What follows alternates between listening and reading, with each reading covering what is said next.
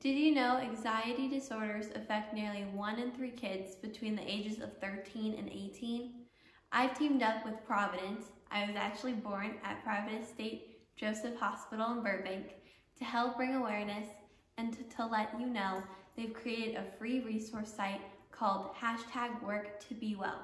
Hashtag work to be well is a digital wellness program focused on positively impacting the emotional well-being of teens and promoting mental health.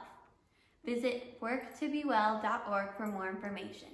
Sometimes I feel anxious when I'm on a school Zoom call and my teacher randomly calls on me. I may know the answer, but I still get anxious about what exactly I'm going to say.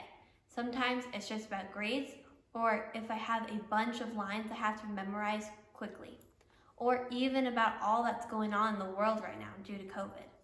Here are some things I do that you can try when you're feeling anxious or stressed. Connection.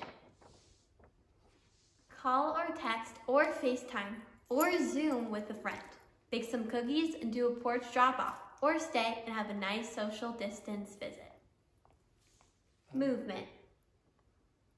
I do Zoom Zumba classes with my mom, just dance with my dad, and I walk with my dogs go swimming, ride my bike, skateboard, or jump on the trampoline. Healthy eating. Eat real food.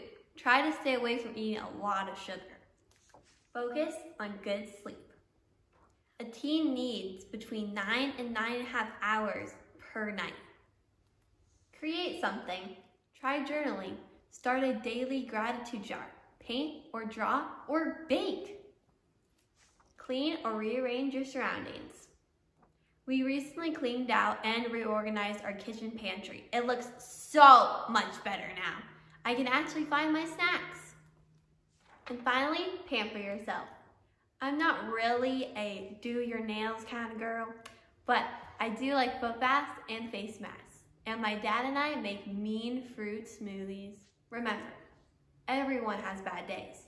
Take time for yourself and give yourself a break. Accept that you can't control everything. Welcome humor. A good laugh goes a long way.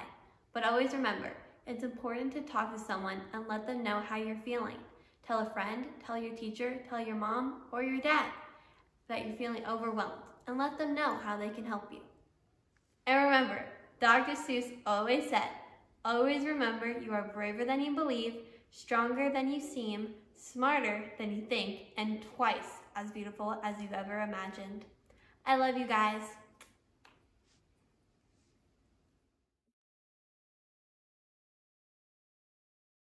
Well, that's why we're doing three seconds.